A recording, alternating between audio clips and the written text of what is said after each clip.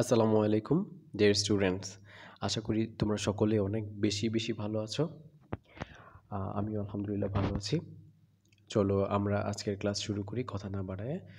আমরা আজকে পড়তে যাচ্ছি স্ক্রিনে দেখতে পাচ্ছ হাউজিং অফ গোট ও শিপ প্রশ্ন হতে পারে যে, স্যার গোট শিপ দুটোর হাউজিং একসাথে এরকম কেন? আমরা জানি গোট এবং শিপ তাদের সাইজ যদি আমরা বিবেচনা করি, তাদের ফিড হ্যাবিট বিবেচনা করি বা তাদের কেয়ার অ্যান্ড ম্যানেজমেন্টের বিষয়টা যদি দেখি মোরলেস অনেকটাই বেশি সিমিলার দ্যাটস ওয়াই গোট এবং শিপের হাউজিংটা আমরা একসাথেই পড়ে ফেলব। আমরা পড়ার সময় হয়তো বা বারবার গোটের কথাটা উল্লেখ করব বাট তোমরা বুঝে নিবা যে এখানে গোট এবং শিপ উভয়ের কথাই বলা হচ্ছে।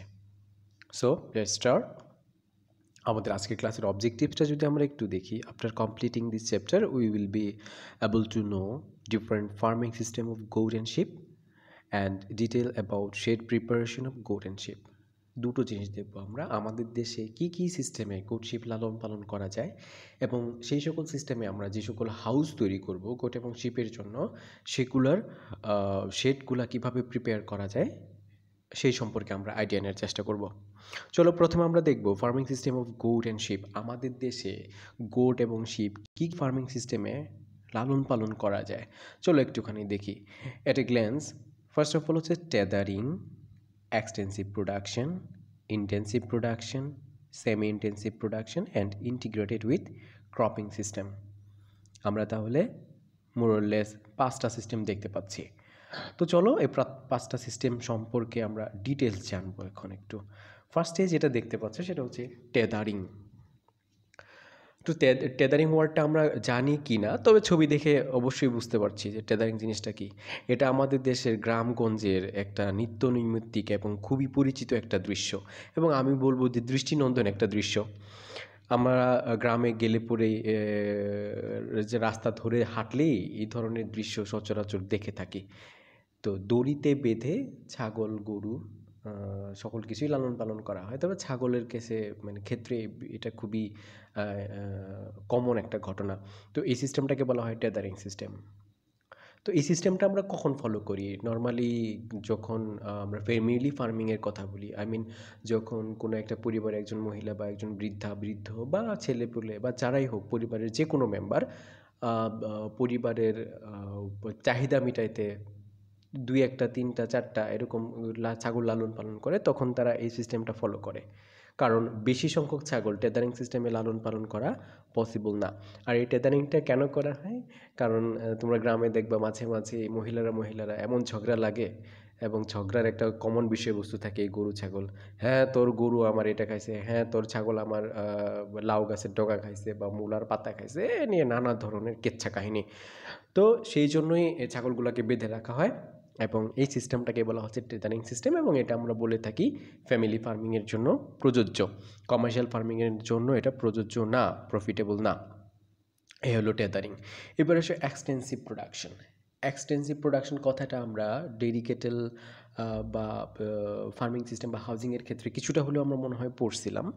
যাই চলো আমরা আবার আর একটু দেখি। ছবিটা যদি একটু খেয়াল করো, এখানে দেখো যে এই যে ছাগলগুলা, এই যে ছাগলগুলা, এই ছাগলগুলা কি? তারা ফ্রিলি গ্রেজিং করছে। আই মিন তারা ফ্রিলি খাবার খাচ্ছে, ঘাস খাচ্ছে। এবং এই খামারে দেখো এইদিকেও কিন্তু কিছু শেড তৈরি করা আছে, শেড আছে। তার মানে কি? যে এই সিস্টেমে ছাগলগুলা মূলত কি থাকবে? ফ্রিলি মুভ করবে ফ্রিলি গ্রেস করবে, ঘাস খাবে। এবং রাতের বেলা বা দিনের একটা নির্দিষ্ট সময় রেস্টের জন্য বা খাবার খাওয়ার জন্য বা মিল্কিং করানোর জন্য বা যে কোনো ম্যানেজমেন্টের উদ্দেশ্যে সে সেরে যেতে পারে। আর বাকিটা সময় সে এরকম ফ্রিলি মুভ করবে। এই কারণে এটাকে বলা হচ্ছে এক্সটেন্সিভ প্রোডাকশন এক্সটেন্সিভ প্রোডাকশন আমরা দেখছি যে এক্সটেন্সিভ প্রোডাকশনের কিছু ভালো দিক আছে, যেটাকে আমরা লুজ হাউজিং টাইপও বলতে পারি। কেটেলের ক্ষেত্রে যেটা আমরা পড়ে আসছিলাম। তো একই জিনিস বা কনসেপ্টটা একই থিমটা একই। তো এই ক্ষেত্রে প্রবলেমটা যেটা হয়েছে, এর জন্য প্রচুর পরিমাণে জায়গা লাগবে। এই যে ফ্রিলি গ্রেস করার জন্য প্রচুর পরিমাণে জায়গা লাগবে। যে জিনিসটা আমাদের দেশে অনেক খামারির পক্ষে বা অনেক মানুষের পক্ষে পসিবল না। তো সেই জন্য এক্সটেন্সিভ প্রোডাকশনটা আমাদের দেশে অতটা লাভজনক নাও বলতে পারি। তবে ভিন্ন কথা, আমি যদি পার্বত্য চট্টগ্রাম বা সিলেটের কথা, এই সকল অঞ্চলের কথা ভাবি, সেদিকে কিন্তু এক্সপেন্সিভ প্রোডাকশনটা ফলো করা যেতে পারে। বাট আমরা যদি ওভারঅল আমাদের সারা দেশের কথা বিবেচনা করি, সেই সকল ক্ষেত্রে এক্সটেন্সিভ প্রোডাকশনটাকে আমি মনে করি না খুব বেশি একটা প্রফিটেবল কারণ এখানে প্রচুর পরিমাণে জমির দরকার হয়। এই হলো এক্সটেন্সিভ প্রোডাকশন সিস্টেম এবার আসি ইন্টেন্সিভ প্রোডাকশন ইন্টেন্সিভ কথাটা আমরা কম বেশি সবাই পরিচিত। আমরা অনেক সময় বলে থাকি ইন্টেন্সিভ কেয়ার মানে নিবিড় যত্ন। আর নিবিড় যত্ন কখন হয়? যখন সার্বক্ষণিক চোখের কাছে থাকে। সেটাকে আমরা নিবিড় যত্ন বলি। তো ইন্টেন্সিভ প্রোডাকশনটা অনেকটা ওই রকম দেখো এখানে একটা ঘর দেখা যাচ্ছে, একটা শেড দেখা যাচ্ছে, আমি বলব সেই শেডের ভিতরে ছাগল বা ভেড়াগুলা কি থাকবে? মোটামুটি চব্বিশ ঘণ্টা চব্বিশ ঘণ্টা না হলেও মেজর একটা অংশ শেডের ভিতরে থাকবে, বদ্ধ অবস্থায়, সেখানে তাদেরকে খাওয়ানো হবে। সেটাকে বলা হচ্ছে ইন্টেন্সিভ প্রোডাকশন তো ইন্টেন্সিভ প্রোডাকশন যদি সারাক্ষণই বা সর্বক্ষণই আমি ছাগল বা ভেড়াগুলোকে একটা নির্দিষ্ট জায়গায় রেখে দিই, বাইরে ফ্রিলি মুভ না করতে দিই গ্রেজ না করতে দিই, তাহলে কিন্তু অ্যানিমেলগুলো অসুস্থ হতে পারে। তো শুধুমাত্র ইন্টেন্সিভ মানে চব্বিশ ঘণ্টা এক জায়গায় রাখাটাও একটা ভালো সিস্টেম নয় ক্যাটেল সরি গোট এবং শিপ ফার্মিংয়ের জন্য। তো এটা ছিল ইন্টেন্সিভ প্রোডাকশন তবে এই ইন্টেন্সিভ প্রোডাকশনটাকে যদি আমরা সেমি ইন্টেন্সিভে নিয়ে আসতে পারি, তাহলে সেটা হচ্ছে বেস্ট ওয়ে সেমি ইন্টেন্সিভ মানে হচ্ছে কি? সেটা এক্সটেন্সিভও না ইন্টেন্সিভও না। মাঝামাঝি। মানে সারাক্ষণ ছাড়ে, ছেড়ে দেওয়াও থাকবে না, আবার সারাক্ষণ শেডের ভিতরেও থাকবে না। তার মানে দিনের একটা নির্দিষ্ট সময় সে মুভ করবে, একটা নির্দিষ্ট সময় সে শেডের ভিতরে থাকবে। এই সিস্টেমটাকে বলা হচ্ছে সেমি ইন্টেন্সিভ সিস্টেম এবং এই সিস্টেমটা কমার্শিয়াল ফার্মিংয়ের জন্য স্পেসিফিক্যালি গোট এবং শিপ ফার্মিংয়ের জন্য খুবই প্রফিটেবল একটা সিস্টেম তাহলে আমি কোনটাকে ভোট দিব বা কোনটাকে প্রিফার করব? সেমি ইন্টেন্সিভ সিস্টেম যেখানে ছাগল বা ভেড়া একটা নির্দিষ্ট সময় শেডের ভিতরে থাকবে এবং একটা নির্দিষ্ট সময় শেডের বাইরে থাকবে। এবার চলো আরেকটা সিস্টেম দেখা যাক ইন্টিগ্রেটেড উইথ ক্রপিং সিস্টেম এখানে তোমরা একটা জিনিস দেখতে পাচ্ছ, একজন মহিলা দাঁড়ায় আছেন হাস্যোজ্জ্বল মুখে, তার পেছনে একটা ছাগল এবং আমরা যদি আরও একটু খেয়াল করি, এটা হচ্ছে একটা পেয়ারা বাগান। তো আমরা এই নিয়ে যদি একটু কথা বলি ইন্টিগ্রেটেড উইথ ক্রপিং সিস্টেম আমরা ক্রপিং সিস্টেম বলতে বোঝাই আমরা উদ্ভিদ জাতীয় যে জিনিসগুলো মানে ফসল ফলায় থাকি, সেই ধরনের। তো ধরো নবাবগঞ্জের কথা যদি আমি বলি নবাবগঞ্জে বড় বড় আমের বাগান আছে। সেই আমের বাগানে আমের গাছগুলোর হাইট অনেক বেশি হয়। সেই আম গাছের নিচে প্রচুর পরিমাণে ঘাস জন্মায়। এই ঘাসগুলো আম গাছের জন্য আগাছা। কিন্তু এই ঘাসগুলাকে কাজে লাগায় যদি আমি এখানে ভেড়া বা ছাগলের খামার করি তাহলে কি হবে? ঘাসগুলাও দমন হবে এবং সেই ঘাসগুলা ভেড়া বা ছাগলের খাবার হিসেবে ব্যবহার হবে। এবং এই যে বিশাল বিশাল বড় বাগানের এতগুলো যে স্পেস, গ্রাউন্ড স্পেসগুলো, এগুলোও কাজে লাগবে। এবং এখানে আরেকটা পয়েন্ট, ছাগল বা ভেড়া যখন ফ্রিলি গ্রেজিং করবে, সে এখানে, সেখানে ইউরিনেশন করবে, ডেফিকেশন করবে। আর আমরা জানি অ্যানিমেলের এই ইউরিন এবং ফিসিসে প্রচুর পরিমাণে নাইট্রোজেনাস পদার্থ থাকে, যেটা সার হিসেবে বাগানে উপকার করবে বরঞ্চ গাছের। তো এরকম কিছু গাছ যেগুলা, যে গাছগুলা ছাগল ক্ষতি করবে না, একটা সেফড উচ্চতায় থাকবে, সেই সকল বাগানে আমরা কি করতে পারি? ভেড়া এবং ছাগলের ইন্টিগ্রেটেড ফার্ম করতে পারি। সেক্ষেত্রে আমার ভেড়া এবং ছাগল লালন পালন হলো, সেখান থেকেও আমি একটা প্রফিট পাইলাম এবং সাথে তো আমার গাছের ফল এবং গাছ থেকে তো প্রফিট আমি পাবই। তো এটাকে বলতেছি আমরা ইন্টিগ্রেটেড উইথ ক্রপিং সিস্টেম ইদানিংকালে একটা জমি সুষ্ঠু ব্যবহারের জন্য এবং সর্বোচ্চ ব্যবহারের জন্য এই মেথডগুলা খুব বেশি পপুলার হচ্ছে। তো আমি মনে করি এটা খুবই বেস্ট একটা ওয়ে জমিগুলাকে এবং সেইখানের গাছ এবং ঘাসগুলাকে প্রপারলি ইউটিলাইজ করার জন্য।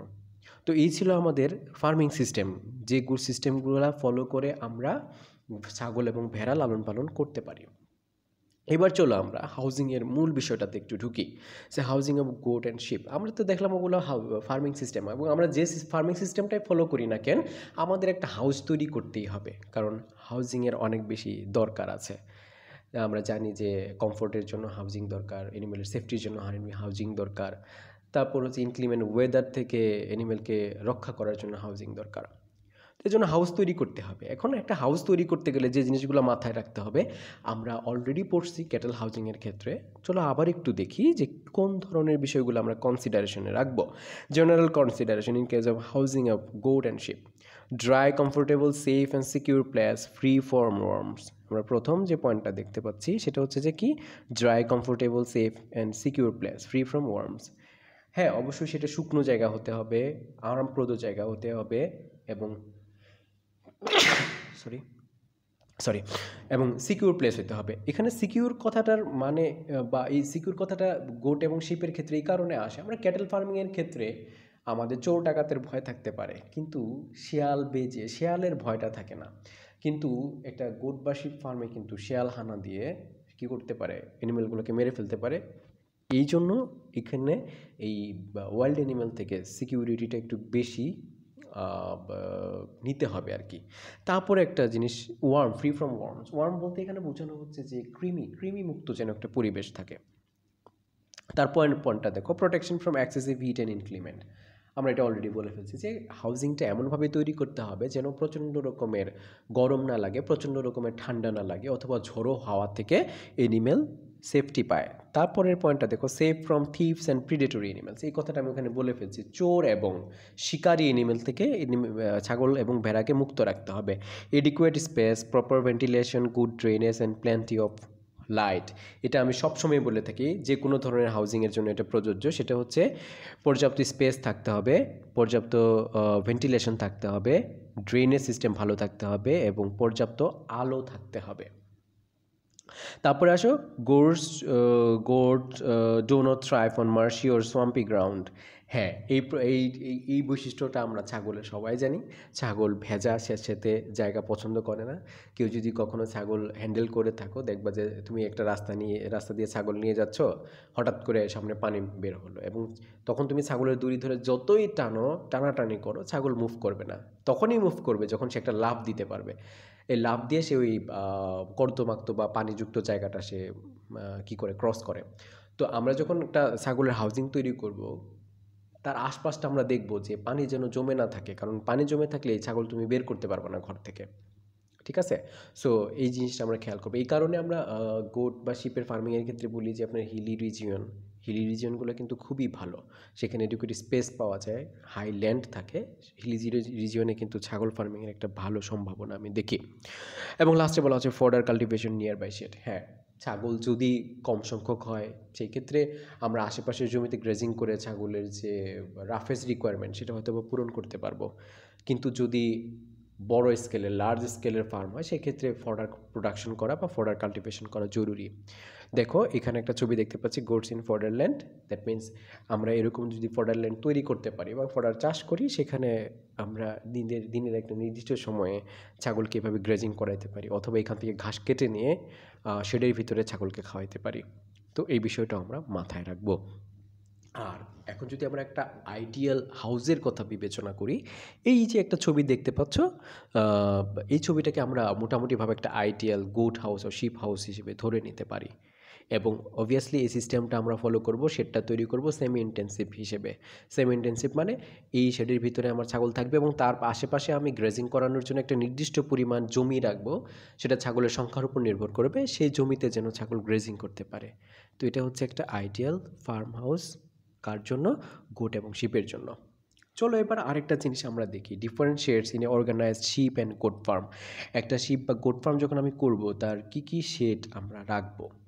তো এটা অনেকটা আমরা ক্যাটেল ফার্মিংয়ে যে শেডগুলো দেখছিলাম, তার মতোই ফাংশনও একই রকম, কিন্তু এখানে নামগুলা জাস্ট ডিফারেন্ট দেখো, বলা হচ্ছে জেনারেল ফ্লক শেড যেটাকে আমরা ইউই ওর ডো শেড বলব।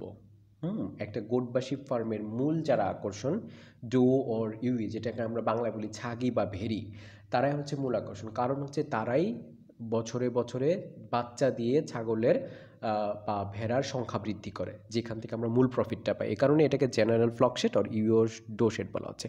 তারপর যদি খামারে তুমি র্যাম ওর বাক রাখো, সেক্ষেত্রে র্যাম ওর বাক শেড থাকবে। Lambing or kidding shed lambing এবং কিডিং আমরা জানি। ল্যাম্প মানে হচ্ছে ভেড়ার বাচ্চা। কিট মানে হচ্ছে ছাগলের বাচ্চা। ল্যাম্বিং বা কিটিং মানে হচ্ছে যে শেডটাতে ভেড়া বা ছাগল বাচ্চা দিবে, যেটা আমরা ক্যাটেলের ক্ষেত্রে বলছিলাম pregnant cow shed or maternity barn তারপর দেখো ল্যাম্ব অর কিট শেড যেখানে ভেড়ার বাচ্চা এবং ছাগলের বাচ্চা থাকবে সিক অ্যানিমেল শেড যেটাকে আমরা বলেছিলাম যে আইসোলেশন শেড এবং একটা কোয়ারেন্টাইন শেডও থাকবে। যদিও এখানে উল্লেখটা নাই, তবে কোয়ারেন্টাইন শেড এবং আইসোলেশন শেড দুটোই রাখতে হবে। আরেকটা গুরুত্বপূর্ণ জিনিস এটা sharing and store room store room আমরা বুঝি যে বিভিন্ন ধরনের জিনিস স্টোর করে রাখার জন্য। কিন্তু শেয়ারিং জিনিসটা কি? এই শেয়ারিং মানে হচ্ছে ভেড়ার লোম কাটা। যদি সেটা ভেড়ার খামার হয়, ভেড়ার খামারে সেই ভেড়ার যে লোম হ্যাঁ মাসে মাসে লোম বাড়তে থাকবে। এই লোমগুলোকে একটা নির্দিষ্ট মাপে কেটে সেখান থেকে উল সংগ্রহ করার জন্য একটা শিয়ারিং রুম থাকা উচিত। এবং অবভিয়াসলি একটা অ্যাটেন্ডেন্স রুম অথবা আমরা অফিস রুম যাই বলি না কেন, থাকতে হবে। কারণ হচ্ছে খামারটাকে টেক কেয়ার করানোর জন্য। তো এই ছিল হচ্ছে মূলত একটা গোট ওর শিপ ফার্মে কী কী শেড আমরা রাখব, তার একটা তালিকা। এবার চলো আমরা সেই প্রত্যেকটা শেডগুলোকে একটু এক নজরে দেখি যে general doe or ewe shed. এখানে দেখো যে এখানে ছাগিগুলোকে রেখে দেওয়া হয়েছে। তারপর বলা হচ্ছে বাক ওর র্যাম শেড। আমরা পাঠা, যেটা আমরা adult male in case of goat and in case of sheep যেটাকে আমরা বাক এবং র্যাম বলি, তাদেরকে রাখার জন্য আলাদা একটা শেড থাকবে কিডিং ওর ল্যাম্বিং শেড, যেখানে ছাগল বা ভেড়া বাচ্চা দিবে মাতৃত্বকালীন সময়ে, যেটাকে আমরা ম্যাটার্নিটি শেড বলে থাকি, সেটা একটা শেড রাখব আমরা, ল্যাম্বোর কিট শেড বাচ্চাগুলোকে আলাদা রাখব এবং কেন রাখব আমরা জানি, বাচ্চাগুলো যদি বড় এনিমেলের সাথে থাকে, তাহলে মা তো হয়তো বা বাচ্চাকে কেয়ার করবে বাট মা বাদে যে শেড মানে এনিমেলগুলো আছে, অন্যরা যারা থাকবে, তারা কিন্তু বাচ্চার ক্ষতি করতে পারে, এই কারণে ল্যাব এবং জন্য আলাদা একটা শেড রাখব। এত গেলো শেডের কথা, এবার দেখি শেডগুলোর মধ্যে কী কী ইউনিট থাকবে? অথবা এই পুরো খামারের মধ্যে আরও কী কী ইউনিট থাকবে? সেই জিনিসগুলো আমরা একটু দেখার চেষ্টা করি। একটা হচ্ছে ফ্লোর ফ্লোর রাখতে হবে। এখন কথা হচ্ছে গোট এবং শিপ ফার্মে আমরা যে ফ্লোরটা তৈরি করব, সেই ফ্লোরটাকে অলওয়েজ ড্রাই এবং ক্লিন রাখতে হবে। এবং গোট এবং শিপের ক্ষেত্রে সে মানে ফ্লোরটাকে ড্রাই এবং ক্লিন করার জন্য আমরা কি করি? ইলিভেটেড ফ্লোর তৈরি করি। মানে হচ্ছে মাটি থেকে খুঁটি দিয়ে উঁচুতে ফ্লোর তৈরি করি। আমরা পরে ছবি দেখব। তো উঁচুতে ফ্লোর তৈরি করি। কারণ হচ্ছে গোট এবং শিপ ছোট এনিমেল আমরা চাইলে পরে একটা তক্তা দিয়ে, বাঁশ দিয়ে বা অন্য যে কোনো ম্যাটেরিয়াল দিয়ে একটা ফ্লোর তৈরি করে সেখানে রাখতে পারি। এবং এতে আরেকটা সুবিধা হয় যে ফ্লোরে আমরা মাঝখানে মাঝখানে কিছু ফাঁকা স্পেস রাখি।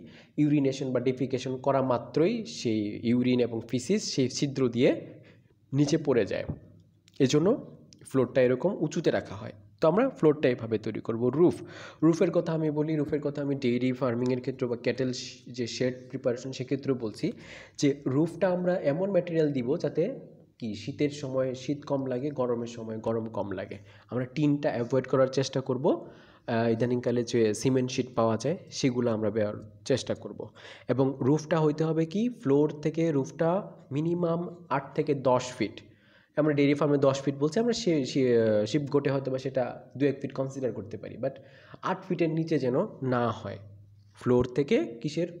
ফ্লোর থেকে রুফের যে হাইটটা তারপর কি থাকবে? ম্যানজার থাকবে অবভিয়াসলি খাবার পাত্র থাকবে। তারপরে ডিপিং ট্যাঙ্ক থাকবে। ডিপিং ট্যাঙ্ক জিনিসটা আমি একটু পরে বোঝাচ্ছি। তারপর ফুটবাথ থাকবে। ফুটবাথ ফুটবাথ অবশ্যই রাখতে হবে। ফুটবাথ কি? যে খামারে এন্ট্রির জায়গায় আমরা একটা পানিযুক্ত কি বলব পানি দিয়ে একটা স্পেস তৈরি করব। পানির ডেপথ যেখানে খুব বেশি থাকবে না। জাস্ট যেন পায়ের পাতাটুকু ডুবে যায়। এমন একটা ডেপথে আমরা পানি রাখব এবং সেখানে কিছু ডিসইনফেক্টেন্ট রাখব। হ্যাঁ জীবাণুনাশক রাখব। সেটাকে বলা হয় ফুটবাথ সেটা একটা, একজন মানুষ ঢুকলে তার জুতার সাথে যে ময়লাগুলা বা জীবাণুগুলো আসবে, সেগুলা ধ্বংস করবে। অথবা সেই খামারে যদি কোনো গাড়ি ঢুকে, কোনো প্রয়োজনে, সেই গাড়ির চাকার সাথে যে জীবাণু আসবে, সেই জীবাণুগুলা এই ফুটবাতে মুক্ত হয়ে যাবে। তারপর আরেকটা ইন্টারেস্টিং জিনিস, সেটা হচ্ছে হে রেক হে রেক হে মানে আমরা জানি, আমরা পড়ছি অথবা পড়ব আবার। সেটা হচ্ছে যে শুকনো খড় জাতীয় যে খাবারগুলা বা স্ট্র জাতীয় যে ঘাসগুলা, সেগুলোকে আমরা বলি হে।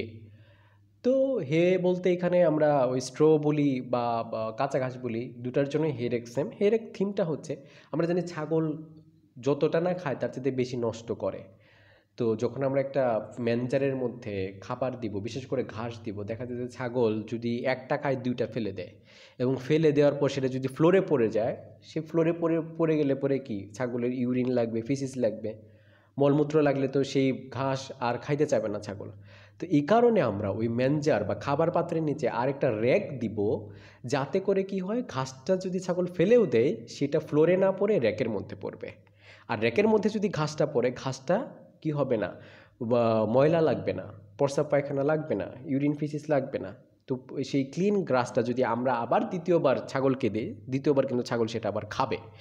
এই জন্য আমরা হে রেক রাখার চেষ্টা করব এবং লাস্টে যেটা বলা হচ্ছে এক্সারসাইজ প্যাডক হ্যাঁ এক্সারসাইজ প্যাডক আমরা একটা গোট অথবা শিপ ফার্মেও রাখব, কারণ হচ্ছে এনিমেলকে এক্সারসাইজ করানোর জন্য এটা খুবই ইম্পর্ট্যান্ট তো এখানে আমার যে জিনিসটা বাদ গেল, সেটা হচ্ছে ডিপিং ট্যাঙ্ক চলো আমরা সামনে ডিপিং ট্যাঙ্কটা দেখব, তার সাথে কিছু মডেল ছবিও দেখি। সেটা হচ্ছে যে ফ্লোর অ্যান্ড রুফ এই যে আমি যে ফ্লোরের কথা বলছিলাম, এখানে একটু খেয়াল করে দেখো যে এখানে কি ফ্লোরটা দেখো কাঠের ফ্লোর তৈরি করা এবং এটা ইলিভেটেড মাটি থেকে অনেক উঁচুতে।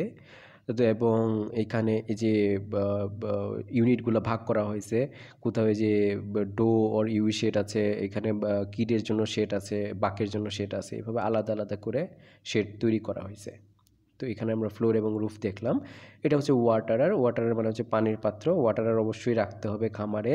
তারপরে দেখি আমরা আরও কি আছে? ম্যানজার ম্যানজার মানে আমরা জানি খাবার পাত্র। হুম ম্যানজারে খাবার খাচ্ছে। এই হচ্ছে সেই ডিপিং ট্যাঙ্ক ডিপিং ট্যাঙ্ক যেটা আমরা একটু ভালো করে বোঝানো চাচ্ছিলাম। দেখো এখানে একটা ছাগলকে গোসল করানো হচ্ছে। তো ডিপিং ট্যাঙ্কটা কি? ট্যাঙ্ক থেকে আমরা বুঝি যে একটা ট্যাঙ্ক এই ট্যাঙ্কের মধ্যে আমরা জানি যে প্রত্যেকটা এনিমেলে ক্যাটেল শিপ গোট এদের এক্সটার্নাল কিছু প্যারাসাইট হয়, যেগুলোকে আমরা বলি টিক লাইট মাইস বাংলায় অনেকে যেগুলো উকুনি, আটালি এগুলো বলে থাকি, এগুলো হচ্ছে এক্সটার্নাল প্যারাসাইট এবং এই প্যারাসাইটগুলো কিন্তু এই গোট শিপে প্রচণ্ড রকমের ক্ষতি করে। কারণ হচ্ছে তারা ব্লাড সাক করে। এটা একটা বিষয়। আরও হচ্ছে যে এই সকল টিক লাইট মাইসের মাধ্যমে বিভিন্ন ধরনের প্রোটোজোয়াল এবং ব্যাকটেরিয়াল এবং ভাইরাল ডিজিজ স্প্রেড করে। তারা ভ্যাক্টর হিসেবে কাজ করে। তো এই কারণে এগুলা নিয়ন্ত্রণ করা খুব জরুরি খামারে। তো আমরা ডিপিং ট্যাঙ্কে কি করি? এই সকল প্যারাসাইটকে মারার জন্য বিভিন্ন ধরনের মেডিসিন পাওয়া যায়। সেই মেডিসিনগুলো পানিতে মিশায়া ছাগলটাকে সেখানে একটা চুবানি দেয় অথবা ভেড়াটাকে সেখানে একটা চুবানি দেয়। ডিপিং করি। এই জন্য এটাকে বলা হয় ডিপিং ট্যাঙ্ক এবং এই ডিপিং ট্যাঙ্কটা খামারে রাখলে আমরা এদেরকে সহজেই এক্সটার্নাল প্যারাসাইট থেকে মুক্ত রাখতে পারি। তো আমরা চেষ্টা করব কখনো যদি গোট এবং শিপ ফার্ম ডিজাইন করি, অবশ্যই আমরা ডিপিং ট্যাঙ্ক রাখব। এক্সারসাইজ প্যাডকের কথা বলছিলাম, এটা হচ্ছে একটা এক্সারসাইজ প্যাডক যেখানে ছাগল এবং ভেড়া নির্দিষ্ট সময়ে, একটা নির্দিষ্ট সময়ে তারা এখানে এক্সারসাইজ করবে মুভ করবে ফ্রি মুভ করবে। সেই এক্সারসাইজ প্যাডক এবার আমরা একটা ডিফারেন্ট যে শেড দেখলাম, সেই শেডগুলোর মাপগুলা এখানে বোঝানোর চেষ্টা করা হয়েছে। তো এই মাপগুলা তোমরা মনে না রাখতে পারলেও তোমাদের যে নোট প্রোভাইড করা হবে, তোমরা সেটা কালেক্ট করবা এবং যদি কখনো স্পেসিফিক্যালি দরকার হয়, সেখান থেকে তোমরা এটা ব্যবহার করার চেষ্টা করবা। ওকে চলো আমরা কিছু টাইপ দেখি যে types of shed of goat and sheep sheep গোটের শেডের যে টাইপ সেই দু একটা টাইপ আমরা দেখি। কিছু নমুনা বা উদাহরণ হিসেবে। দেখো, প্রথমে যে শেডটা আমরা দেখতে পাচ্ছি, এটা আমাদের দেশ গ্রামে অনেক বেশি দেখি, দেখে থাকি আর কি। যে বারান্দায় একটুখানি ছাউনি বা বেড়া দিয়ে সেখানে কিছু ছাগল লালন পালন করা। তো এটাকে বলা হয় লিন টু টাইপ শেড এদিকে দেখো, এটাকে বলা হচ্ছে lean to type shed okay, এখন এই লিন টু টাইপ শেডে কয়টা ছাগল রাখা যায়? তো এখানে যে সাইজটা দেখছ, এখানে পাঁচ থেকে ছয়টা ছাগল ইজিলি লালন পালন করা যাবে। তার মানে এটা হচ্ছে একটা ফ্যামিলি ফার্মিংয়ের জন্য উপযুক্ত শেড এখানে খরচও খুব কম হবে, কিন্তু এনিম্যাল ভালো একটা হাউজিং পাচ্ছে এবং চার থেকে পাঁচটা ছাগল ইজিলি লালন পালন করা যাবে। So this is applicable for family farming কিন্তু আমাদের তো মূল কনসার্ন হচ্ছে কমার্শিয়াল ফার্মিং তাহলে দেখি কমার্শিয়াল ফার্মিংয়ের জন্য কোনটা প্রযোজ্য? দেখো এই শেডটা এটাকে আমরা বলতেছি ইলিভেটেড প্ল্যাটফর্ম টাইপ শেড যেখানে ফ্লোরটা কি? মাটি থেকে উঁচুতে তৈরি করা হয়েছে। এবং মাটি থেকে উঁচুতে তৈরি করার কারণটা একটু এখন আমি ব্যাখ্যা করি। আমরা তখন বললাম যে উঁচুতে হওয়ার কারণে এই যে ফ্লোরে এনিমেলের ফিসিস এবং ইউরিন পড়া মাত্রই নিচে পড়ে যাচ্ছে। এই নিচে পড়ে গেলে সুবিধাটা কি? নিচে পড়ে যাচ্ছে মানে হচ্ছে কি এনিমেলের কন্ট্যাক্ট থেকে অনেক দূরে তার ফিসিস এবং ইউরিন পড়ে যাচ্ছে। আমরা আগেও বলছি, ইউরিন এবং ফিসিসে প্রচুর পরিমাণ অ্যামোনিয়া গ্যাস প্রোডাকশন হয়। এই অ্যামোনিয়া গ্যাস যে কোনো এনিমেলের জন্য খারাপ, তার স্বাস্থ্যের জন্য খারাপ। তো এই মানে এই সিস্টেমে যখন আমরা একটা সেট করব এনিমেল যখন এখানে ইউরিনেশন ডেফিকেশন করবে, সাথে সাথে কি? নিচে পড়ে যাবে। নিচে পড়ে যাবে, তার মানে এনিমেলের কন্ট্যাক্ট থেকে অনেকটাই দূরে চলে যাবে। এবং দূরে চলে যাওয়ার কারণে অ্যামোনিয়া গ্যাসের প্রভাবটা এনিমেলের উপর কম পড়বে এবং এনিমেল হেলদি থাকবে, ভালো থাকবে। এবং আমরা দিনে একবার বা দুইবার এখান থেকে কি? সেই ইউরিন ফেসিসগুলো পরিষ্কার করে ফেলব। তো এটা হচ্ছে এলিভেটেড প্ল্যাটফর্ম টাইমের সবচাইতে বড় সুবিধা, যে ফ্লোরটা আমরা মাটি থেকে উঁচুতে করব। এখন প্রশ্ন আসতেছে যে এই যে সেটটা আমরা তৈরি করব, এখানের মাপটা কেমন হতে পারে? চলো আমরা মাপটা একটু মনোযোগ দিয়ে শুনি। মাপটা হচ্ছে এক পঁচিশটা ছাগলের জন্য যদি আমরা একটা শেড তৈরি করতে চাই, তো সেই শেডের মাপটা একটু দেখব। কয়টা ছাগল? পঁচিশটা ছাগল। চলো দেখা যাক। সেই শেডটার লেংথ হবে হচ্ছে, এই বরাবর লেংথ হবে তার তিরিশ ফিট তার ওয়াইট আমরা রাখব কয় ফিট ওয়াইটটা রাখব টেন ফিট এটা হচ্ছে তিরিশ। এই যে প্রশস্তটা বা প্রস্তটা হবে দশ ফিট এবং এই ফ্লোর থেকে সরি এই গ্রাউন্ড থেকে ফ্লোরের যে হাইটটা হ্যাঁ আমি মা, যে ফ্লোরটা যে তৈরি করব, এই গ্রাউন্ড থেকে ফ্লোরের হাইটটা হবে আমার তিন ফিট মিনিমাম তিন ফিট দিতে হবে। এই ফ্লোর এই গ্রাউন্ড থেকে ফ্লোরের যে হাইটটা আর এই ফ্লোর থেকে, এই ফ্লোর থেকে শেডের যে বা রুফের যে হাইটটা সেটা আট ফিট হওয়া ভালো। তাহলে আরেকবার আমি বলি যে লেংথ হবে ত্রিশ ফিট ওয়াইড হবে দশ ফিট মাটি থেকে ফ্লোরের উচ্চতা হবে তিন ফিট আর ফ্লোর থেকে ছাদের উচ্চতা হবে আট ফিট এবং এই মাপটা হচ্ছে স্ট্যান্ডার্ড কার জন্য? পঁচিশটা ছাগলের জন্য। তো আমরা নিজেরা যখন শেড তৈরি করব, এই সিস্টেমটা ফলো করার চেষ্টা করব, এই যে এলিভেটেড প্ল্যাটফর্ম টাইপের আরেকটা সুন্দর উদাহরণ এখানে দেওয়া হয়েছে, আমরা এটু, এগুলোকে ফলো করার চেষ্টা করব। তবে এই শেডটা নিয়ে আমার একটু কনফিউশন বা একটু কথা আছে, সেটা হচ্ছে যে, আমার কাছে কেন যেন মনে হচ্ছে যে, এদের রুফটা রুফটা অনেক বেশি কাছে হয়ে গেছে। এটা স্ট্যান্ডার্ড মেনটেন করা হয়নি। অবশ্য এই ছবিটার মানে একজ্যাক্ট ভিউ দেখলে আমরা বুঝতে পারব। একজ্যাক্ট ভিউয়ে বা মাপটা ঠিকও থাকতে পারে। আমরা যে অ্যাঙ্গেল থেকে দেখছি হয়তো বা সেই অ্যাঙ্গেলটাই ঠিক না। তো স্পেস রিকোয়ার্ড ফর শেড সেক্ষেত্রে যদি আমরা বিভিন্ন বয়সের গোট এবং শিপ দেখি, যেখানে বলা হচ্ছে যে বেবি শিপের জন্য বা গোটের জন্য লাগবে হচ্ছে zero point three square metre অ্যাডাল্টের জন্য one point five square metre pregnant one point nine square metre এবং male two point eight square metre তো আমরা যখন খুব বড় মাপের খামার করব, সেই ক্ষেত্রে এই মাপযোগগুলো ফলো করতে পারি এবং এখানে ফিডিং এবং ওয়াটারিং স্পেসের কথা বলা হয়েছে। আমরা ফিডিং এবং ওয়াটারিং স্পেসগুলা বা ফিডার এবং ওয়াটার আলাদাভাবেই সেট করব বা আলাদাভাবে খামারে প্রোভাইড করব। এজন্য আমাদের এই মাপটা না হলেও হবে।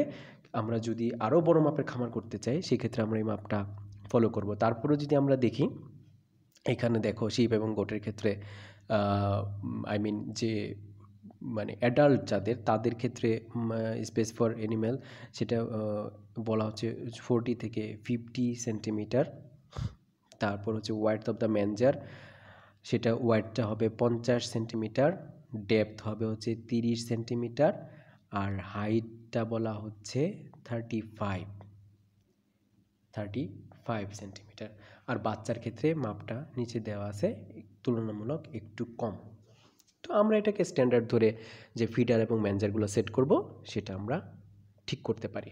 তো এই ছিল আজকের মতো ক্লাস আশা করি তোমরা কিছুটা হলেও উপকৃত হবা এবং এই তথ্যগুলো মনে রাখার চেষ্টা করবা, শুধুমাত্র নিজের জন্য নয় তোমরা যেন তোমার আশপাশের বন্ধু সকল, পাড়া প্রতিবেশী বা আশপাশে যারা নিডি কৃষক আছে, যারা উৎসুক বা যারা আগ্রহী ছাগল বা ভেড়ার খামার করার জন্য, তাদেরকে তোমরা আশা করি তোমাদের এই অর্জিত যতটুকু শিখছো, সেইটুকু থেকে তোমরা তাদেরকে সাহায্য করতে পারবা। সো আজকের মতো এখানেই শেষ করি। সবাই ভালো থেকো। আল্লাহ হাফিজ।